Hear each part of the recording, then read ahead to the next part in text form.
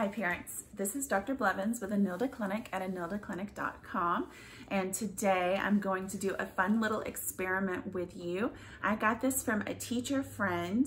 Uh, I worked with her back in Louisiana about 10, 15 years ago and um, she did it with her kids and so a shout out to her. Um, because she's awesome. And I thought the experiment was super cute and super helpful. And so I'm gonna talk about it today. This is how to talk to young children about the spread of germs. And um, what you do is you get some cinnamon and kids, and that's, that's the only equipment you need. Um, so I have some cinnamon right here, and what you do is you pretend to sneeze. So if I were to say, achoo,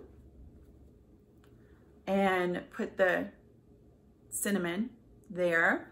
Then you have your kids just kind of act like normal, like they're playing, giving a high five, doing a handshake, those kinds of things. So you can be like,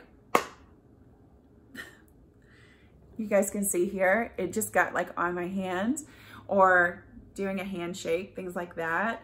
And it's clearly getting everywhere. This is Saigon cinnamon, so it smells super yummy. My house is gonna smell so good for the next couple of days. Um, and then like just kind of like touching things um, and going to the bathroom and then washing their hands.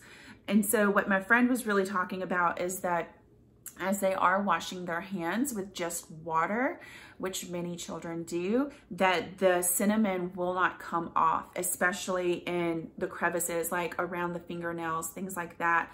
And that you really have to use soap and you really do have to scrub for a good bit of time, that 20 to 30 second mark in order to really get all the cinnamon off. So this is a great way to help your children have a visual to really help them to start understanding how germs are spread through just casual touching or common ways of touching.